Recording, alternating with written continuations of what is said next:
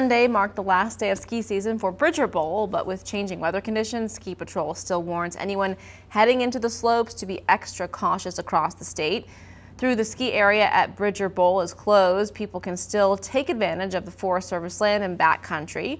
And after a Bozeman man was killed in an avalanche over the weekend just south of Bridger Bowl, it's a good time to remind yourselves of the risk. Ski Patrol Director at Bridger Bowl, Doug Richmond, says don't be fooled by warmer weather. Fresh snow and melting and refreezing and the right amount of wind can all lead to hazardous conditions. Every day we get the warm weather, and with warm weather, the whole snowpack can turn to isothermal mush, just like wet cement hanging on the hillside. And, and if you can get a little of that going with a snowball, pinwheel, sometimes the snowballs will roll up pretty big, especially with some fresh snow that's melting now. And uh, that can cause the wet slides that can that can step down and be very big and, and uh, devastating.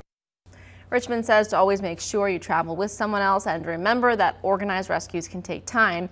If you do find yourself in need of rescue, you should contact the Sheriff's Department if you can.